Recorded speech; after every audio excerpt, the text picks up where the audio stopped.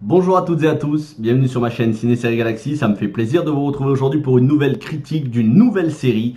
Et c'est une excellente série qui est diffusée sur HBO aux États-Unis et on les connaît, ils font presque tout le temps de la qualité. Et là, c'est une série avec beaucoup de qualité, ça s'appelle The Never, ça a été diffusé chez nous sur OCS. Ça a fini d'être diffusé, la première saison est composée de 6 épisodes et je vais vous en parler dans une très grande partie sans spoilers et ensuite, parce que je suis obligé pour pouvoir rentrer un peu plus dans les détails, je traiterai du dernier épisode de cette saison. Mais ne vous inquiétez pas, il y aura l'alerte spoilers, comme ça si vous n'avez pas encore vu la série, vous pourrez quitter avant la partie spoilers. Une chose que d'habitude je fais en fin de vidéo, je vais le faire en début de vidéo pour une fois c'est par rapport au pouce bleu. Je vous demande pas de vous abonner si vous voulez pas, il n'y a aucun souci. Mais si vous regardez cette vidéo et que vous l'appréciez, mettez un pouce bleu. Ça ne vous coûte rien, c'est un clic. Bien souvent, les gens oublient.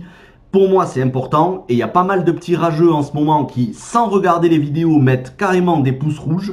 Donc, si vous voulez m'aider, mettez un pouce bleu, bien évidemment pas maintenant, quand vous aurez fini de regarder la vidéo, si elle vous plaît, bien évidemment. Si elle ne vous plaît pas, rien ne vous oblige à mettre un pouce bleu. Allez, sur ce, c'est parti, on va rentrer dans la vidéo à proprement parler, juste après le générique.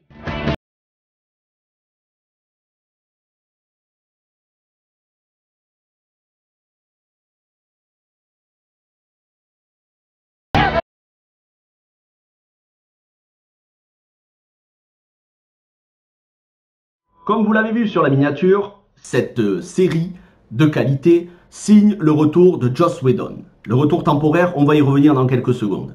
Joss Whedon, il est vraiment détesté par beaucoup, beaucoup en ce moment à cause de Justice League 2017, surtout depuis la ressortie du Justice League de Zack Snyder. Mais n'oublions jamais que Joss Whedon, c'est pas le réalisateur de un seul film, c'est pas le réalisateur de un seul film mauvais, c'est le réalisateur de beaucoup d'autres films et de séries très bons. Très bonnes, notamment comme Buffy, qui est cultissime. Je pense que j'ai pas besoin de vous convaincre. Mais aussi Avengers 1 et 2. Avengers 1, à l'époque, encensé par tout le monde, presse et spectateurs. Et ce serait vraiment très dommageable pour vous en tant que spectateur de vous priver de cette série sous prétexte que vous détestez Joss Whedon. Joss Whedon, ça n'est pas seulement Justice League 2017. Faut à un moment donné arrêter de s'acharner et considérer l'entièreté de sa filmographie. Et surtout, cet homme a du talent. Et il le prouve avec cette série. Malheureusement, il avait beau être showrunner, créateur de la série, donc scénariste, producteur, bref, il était impliqué à tous les niveaux à la suite d'accusations de harcèlement dont je ne rentrerai pas dans les détails parce que c'est pas le but sur la chaîne, il est démis de ses fonctions, il a dû démissionner, il ne sera pas là pour la saison 2. Mais rassurez-vous, parce que oui, la série aura une saison 2, Philippa Goslet, une scénariste, reprend le poste à la fois de scénariste et de showrunner. Et donc, euh, je fais confiance à HBO. S'ils l'ont choisi, c'est qu'elle doit être assez talentueuse, assez qualifiée pour le rôle de showrunner. Passons maintenant au synopsis, casting, point fort et point faible. Le synopsis, quel est-il? On est dans le Londres de l'époque victorienne, quelques années après l'histoire de Jack l'Éventreur, c'est pour vous situer la période, et un événement fantastique, surnaturel, quelque chose va arriver qui va faire que des gens vont être dotés de pouvoir, de talent, alors pour certains, ça va être euh, jeter des boules de feu, d'autres, ça va être transformer de la matière, notamment des choses en verre. Euh, pour d'autres, ça va être voir l'avenir à l'avance, avoir des capacités intellectuelles décuplées pour pouvoir créer de la technologie, bref, euh, avoir un sens de l'imagination aiguisé.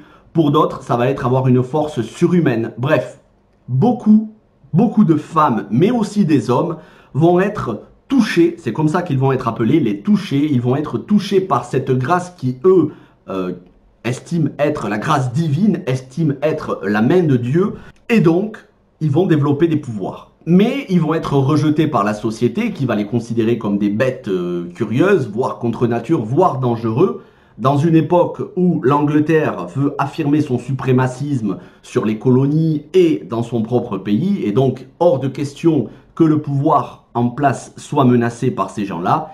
Et donc, ils vont devoir se regrouper, non pas dans une école comme les X-Men, mais dans un orphelinat. Mais oui, bien sûr que X-Men est une référence, très clairement, avec l'actrice euh, donc Laura Donnelly qui joue le personnage de Molly Amalia True qui elle va faire office de professeur Xavier et qui va réunir autour d'elle un paquet de personnes ultra euh, douées, talentueuses, avec plein de pouvoirs et ils vont essayer de comprendre déjà la source de leur pouvoir mais en plus ils vont se mettre en chasse d'une psychopathe qui était internée et qui au moment justement où tout le monde a reçu ses pouvoirs, elle aussi a reçu des pouvoirs Sauf que comme elle était euh, ben, mentalement perturbée, ses pouvoirs, elle l'utilise pour faire le mal. Et donc, ils vont essayer de la contrer.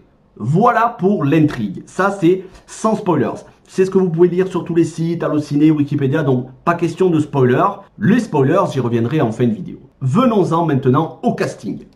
Et le casting, il est composé à la fois d'acteurs, actrices pas très connus, voire inconnus, et d'autres assez connus dans le monde de la télévision, mais aussi du cinéma. On commence par l'actrice principale qui porte la série sur ses épaules, Laura Donnelly. Je ne la connaissais absolument pas.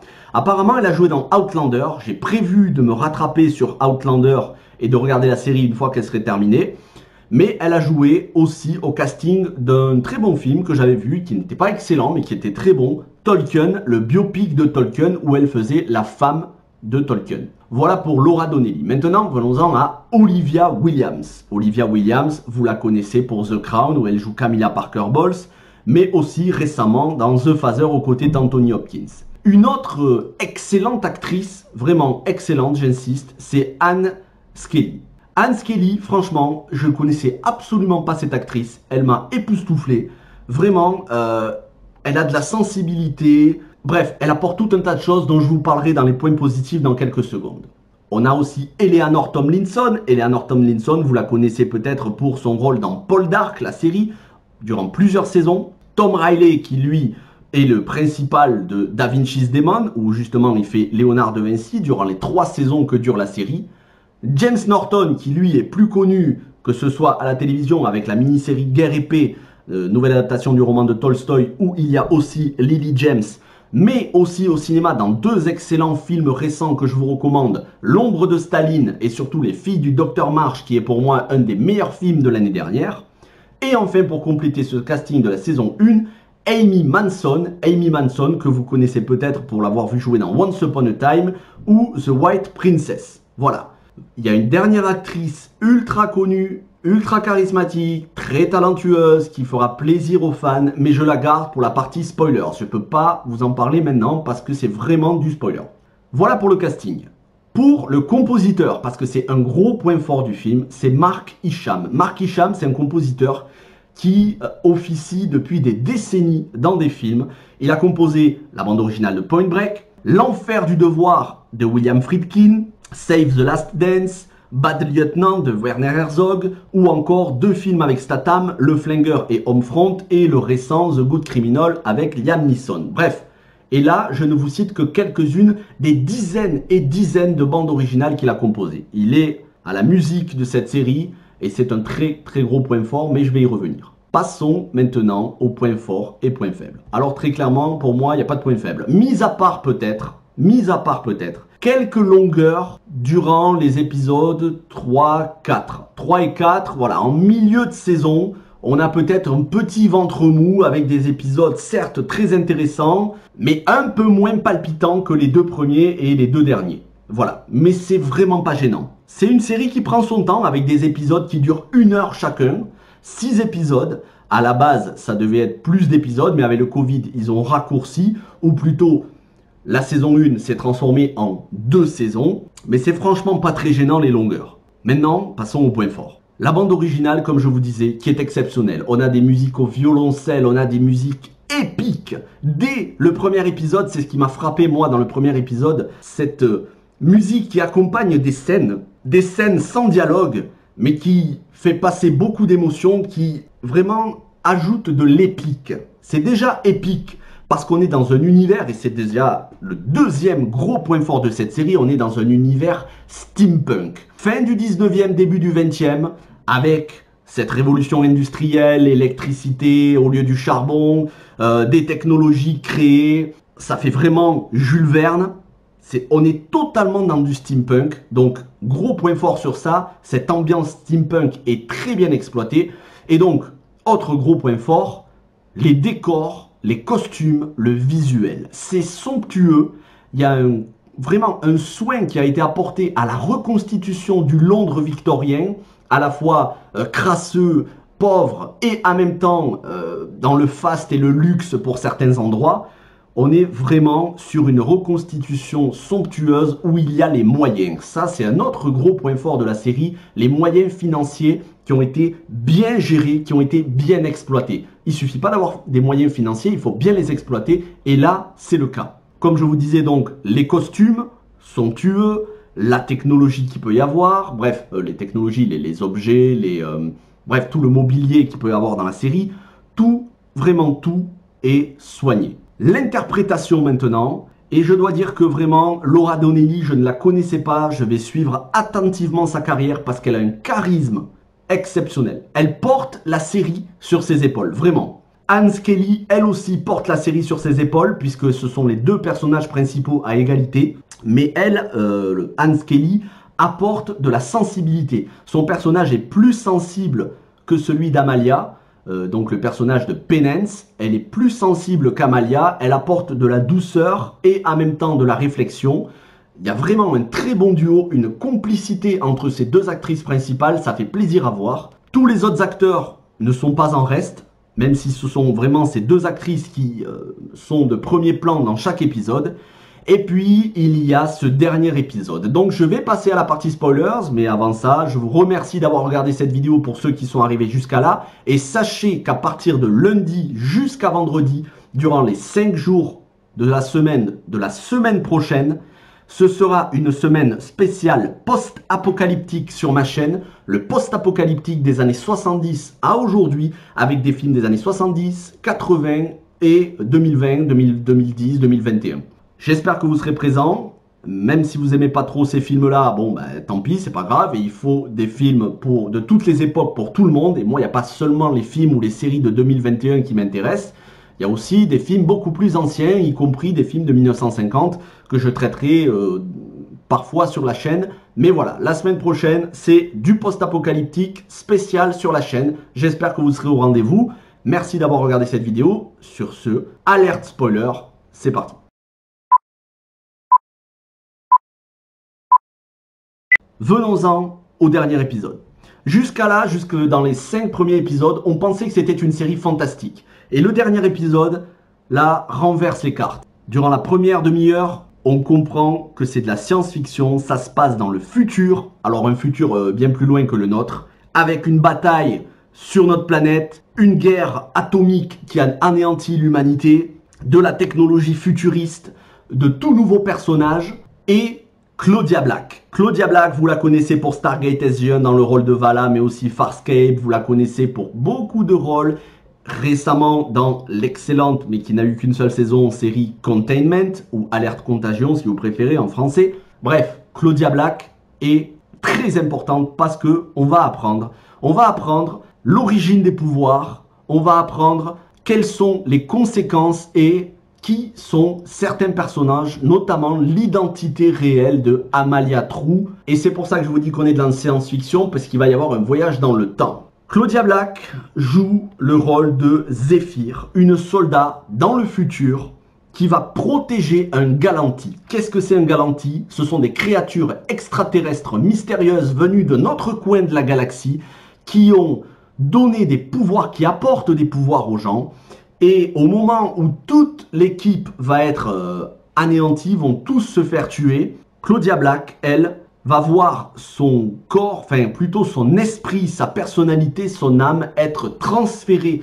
grâce à ce galanti, cette créature extraterrestre, transféré dans le corps d'une jeune boulangère euh, très malheureuse qui en vient à se suicider, qui s'appelle Molly, ou plutôt Amalia Trou, et oui, Amalia True n'est en fait pas Amalia True durant tous les épisodes de la série.